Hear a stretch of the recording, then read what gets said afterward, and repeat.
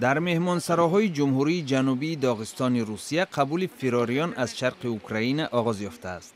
با گفتی منصبداران تخمینا 100 فراری از منطقه لوهانسک اوکراین به داغستان وارد شدند. با قبل اداره امور پناهندگان سازمان ملل متحد بیش از 100 هزار اوکراینی از جنگ های این کشور به روسیه همسایه فرار کردند. بر علاوه بر اثر برخوردهای مسلحانه میان نیروهای حکومتی و جدایخواهان اوکراینی ده ها هزار نفر در داخل اوکراین مکان دائمی زیستشان را ترک کردند.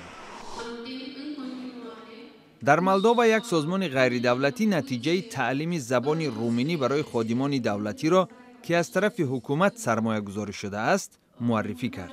سال گذشته تخمینا 500 خادم اساساً روس زبان حکومت مولدووا به این برنامه شامل شده بودند. مسئولیت تطبیق این برنامه را حکومت مولدووا ба уҳдаи иттиҳодияи миллии мураббиёни аврупоӣ вогузор карда буд. Дар беларус наздик ба 300 роҳиби католик ҳиҷрати солона аз калисои ҷомеи марьями муқаддас ба диҳаи бутславро оғоз намуданд.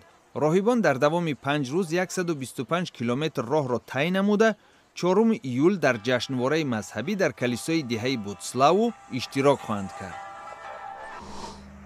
در عراق قطاره تیز حرکت در بین شهرهای بغداد و بصره به فعالیت پرداخته است. قطاره استحصال چین 550 کیلومتر راه میان بغداد و بصره را در طول 6 ساعت عبور می کند.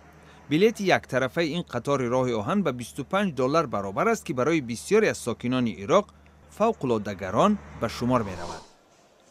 همچنان در عراق نمایشگاه بزرگ عکس های سالهای بیستم و سیوم قرن گذشته دایر شد.